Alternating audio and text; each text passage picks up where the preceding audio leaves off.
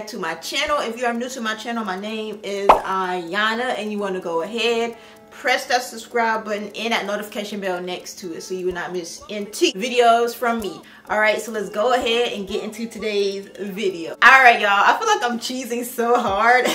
I've been wanting to do this video for a big old minute. It feels so nostalgic doing DIY natural hair thing. When I started my natural hair journey, that's all I was looking at was DIY everything, especially Naptural85. She's the DIY queen, okay? Today, I will be making my own DIY oil blend y'all. I've been wanting to do one of these for the longest. I will be using my empty container from melanin hair care because this is the only container i really have on hand that is empty. And i like that it has a nozzle on it so i'm going to be putting everything in this bottle. The reason why i'm making this oil blend is not only for my scalp because y'all know we're doing the 2022 healthy hair growth challenge. If you didn't know in the description check the video out. But i am supposed to be oiling my scalp twice a week along with doing scalp massages. And i also like to still use oil on my actual shaft or my natural hair. I am going to go over the oils that i decided to use for this diy oil blend. So i actually have six oils in total. I have some jojoba oil. Everybody know about it? Jojoba oil.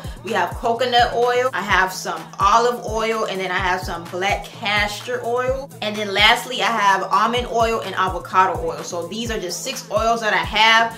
All the oils, I ordered them off of Amazon. So if you're interested in following along with this video, getting exact materials that I used in this video, check my Amazon shop link in the description box. All the oils will be there for you. And let's go ahead and make this oil blend.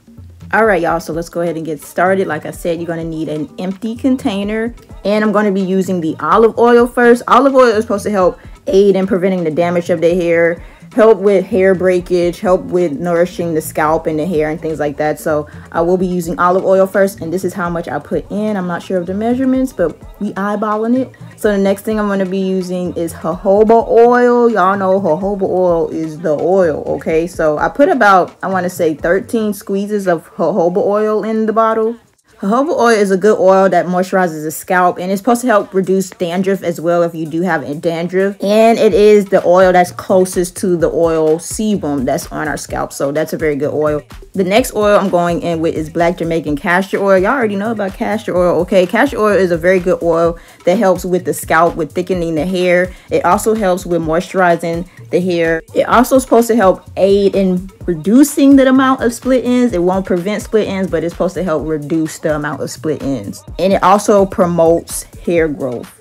Okay, the next oil is sweet almond oil. Sweet almond oil is more of a moisturizing oil. It is good for conditioning the scalp, softening the hair, strengthening the hair, and it's supposed to help aid with reducing split ends. But I believe I put around 13 to 16 squeezes of the sweet almond oil in this container.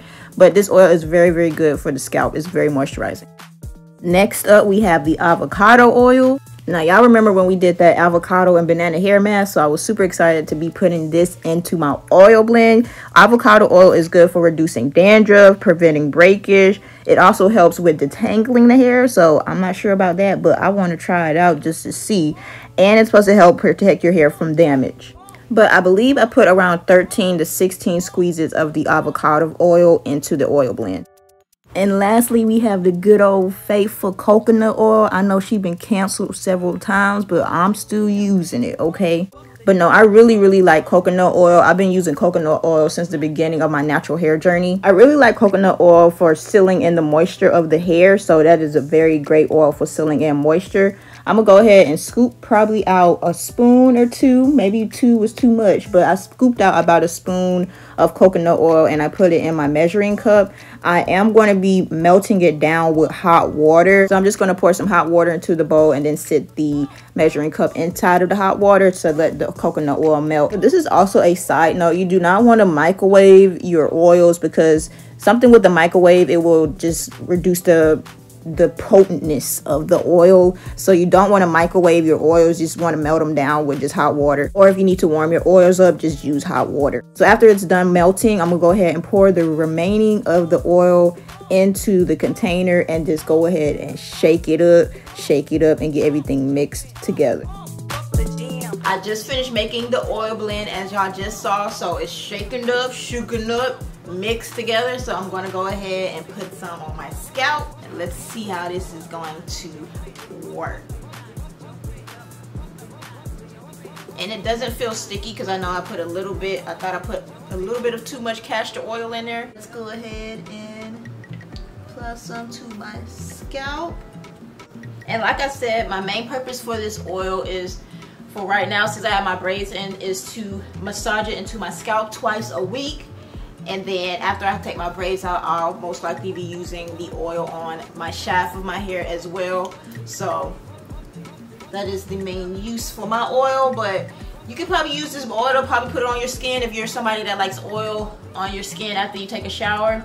You most likely use this as a um, skin moisturizer as well but this is it y'all. So i'm super happy i was able to get this done finally because i've been wanting to do one for a long long time. I will be using it every chance i get because guess what? We made it. We made it. We did it. It's it's ours okay? So i will be using this twice a week on my scalp and once I take my braids out on the shaft of my hair when I moisturize and all that stuff. So I'm super excited, y'all. But I hope you guys enjoyed this DIY. Let me know down below, have you ever made a DIY oil blend before? And if you have, what type of oils did you put into your DIY oil blend? Let me know that stuff down below in the comment section.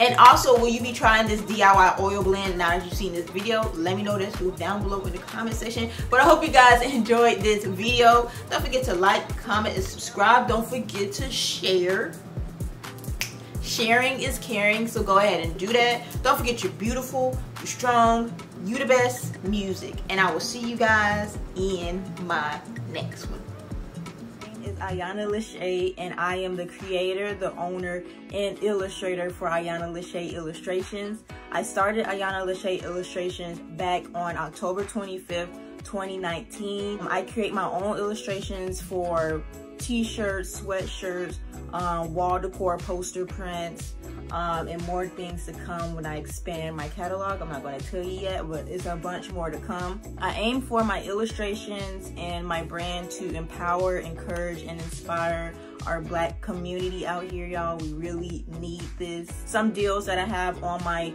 shirts and products on my site right now is if you sign up for the newsletters, you will receive 10% off your first order. And also when you sign up for the newsletter, you'll be in the know about when I launch new products, when I launch um, new designs, what's new to come, early bird access to the new designs um, details on how I came up with a specific design or a specific collection. And you'll also get some exclusive deals on the newsletter. So make sure you go check out my website and my brand at www.ayanalacheyillustrations.com and I'll see you guys over there rocking your gear.